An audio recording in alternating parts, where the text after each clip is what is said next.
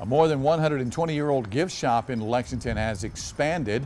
Wingard's Market has enlarged their gift shop to allow for more space for local and regional retailers to show off their items for the Christmas season. The owners say the expansion includes many features to make everyone's shopping experience more enjoyable.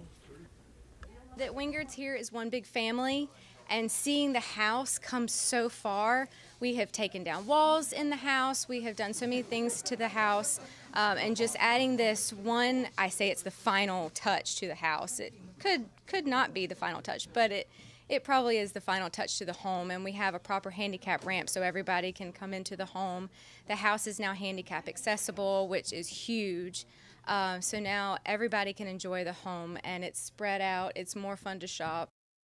Wingard's Market holiday reopening celebration will be open tomorrow from 9 until 5.